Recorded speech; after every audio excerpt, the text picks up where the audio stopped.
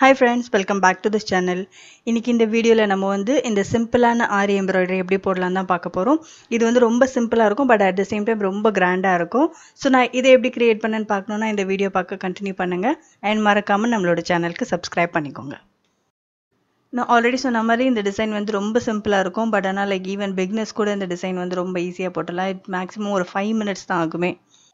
First இந்த fabric வந்து நான் ஒரு ஆரி காட்டில் போட்டுட்டேன். ஆரி காட்டில் போட்டதுக்கப்புறமா ஃபேப்ரிக் கிளாத் uh, ஓட்டுறதுக்காக யூஸ் பண்ணுற க்ளூ யூஸ் பண்ணி நடுவில் வந்து அந்த பிளாஸ்டிக் மிரர் ஃபிக்ஸ் பண்ணிடுறேன். நீங்கள் வேணும்னா ஈவன் ஸ்டோன்ஸ் கூட யூஸ் பண்ணிக்கலாம். ஸோ அது யூஸ் பண்ணதுக்கப்புறமா அதை சுற்றி ஃபிக்ஸ் பண்ணுறதுக்காக ரெண்டு டைப் ஆஃப் பீட்ஸ் யூஸ் பண்ண போகிறேன் ஒன்று வந்து இந்த ஸ்மால் சைஸில் இருக்குது அண்ட் இன்னொன்று வந்து அதை விட ஒரு இன்ச் பிக் சைஸில் இருக்கிறது ஸோ அது ஒட்டினதுக்கப்புறமா ஒரு ஃபைவ் மினிட்ஸ் அப்படியே விட்டுடுங்க. அது நல்லா காஞ்சதுக்கப்புறமா நம்ம டிசைன் போட ஸ்டார்ட் பண்ணலாம். இந்த டிசைன் வந்து மேக்ஸிமம் எதுக்கெலாம் யூஸ் பண்ணுவாங்கன்னா உங்களோட சுடிதார்ஸில் ஒரு ப்ளவுஸில் கையில் இந்த மாதிரி இடத்துலலாம் வந்து இதை யூஸ் பண்ணிக்கலாம்.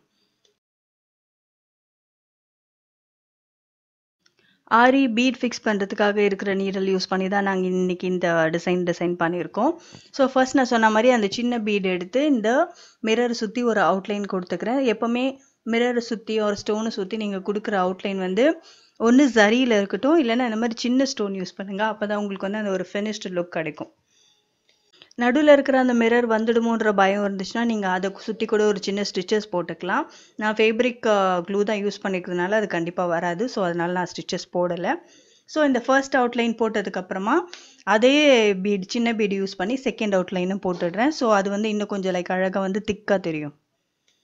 ஆரி பீட்ஸ் எப்படி ஃபிக்ஸ் பண்ணுறதுன்ற வீடியோ உங்களுக்கு வேணும்னா அது ஆல்ரெடி நம்ம சேனலில் அப்லோட் பண்ணியிருக்கோம். லிங்க் கீழே டிஸ்கிரிப்ஷனில் கொடுக்குறேன். வேணும்னா செக் பண்ணி பார்த்துக்கோங்க.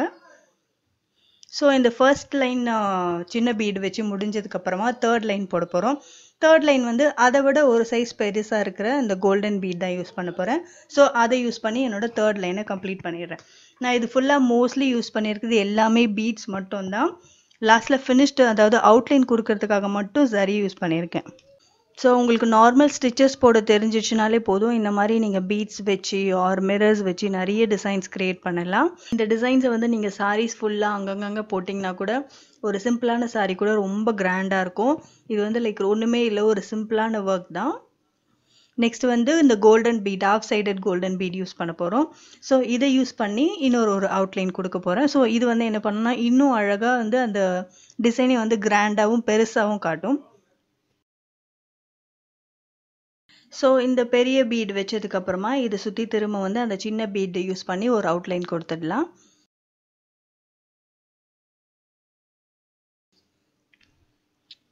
இந்த அவுட்லைன் எதுக்குன்னா அந்த பெரிய பீடு வந்து நம்ம வச்சதுக்கப்புறமா ஒரு மாதிரி அன்ஈவனாக இருக்கும். அதாவது ஏன்னா அது வந்து பெருசு பெருசாக இருக்கிறதுனால அதோட ஃபினிஷிங் அவுட்லைன் வந்து கரெக்டாக இருக்காது. ஸோ அதை சுற்றி இந்த மாதிரி ஒரு சின்ன பீட் வச்சு டிசைன் கொடுத்தா அது லைக் நம்மளுக்கு ஒரு ஷேப் கொடுத்த மாதிரி இருக்கும். ஸோ இப்போ இந்த பீடு ஒரு லைன் வச்சதுக்கப்புறமா இதை சுற்றி நான் வந்து ஒரு எண்டிங் நாட் போட்டு இந்த க்ளோஸ் பண்ணிடலாம்.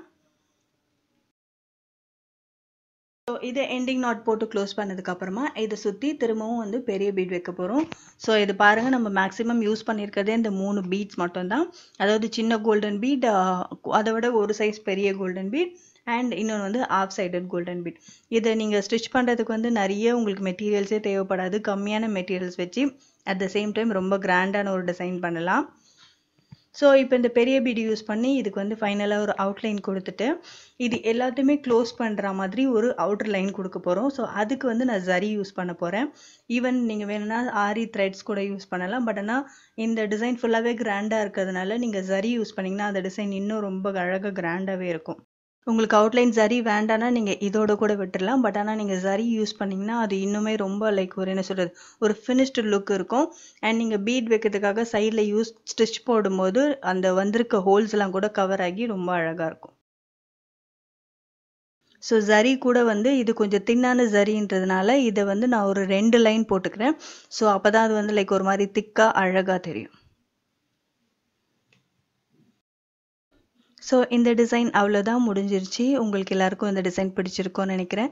நீங்களும் வீட்டில் இந்த டிசைன் ட்ரை பண்ணி பாருங்கள் உங்களுக்கு பிடிச்சிருந்தா கண்டிப்பாக இந்த வீடியோக்கு ஒரு லைக் பண்ணுங்கள் அண்ட் மறக்காமல் நம்மளோட சேனலுக்கு சப்ஸ்கிரைப் பண்ணிக்கோங்க. இந்த மாதிரி இன்னும் நிறைய வீடியோஸ் வேணும்னா நம்மளோட சேனலை விசிட் பண்ணுங்கள் அதில் இந்த மாதிரி ஆரி ரிலேட்டடான வீடியோஸ் நிறைய இருக்கும்.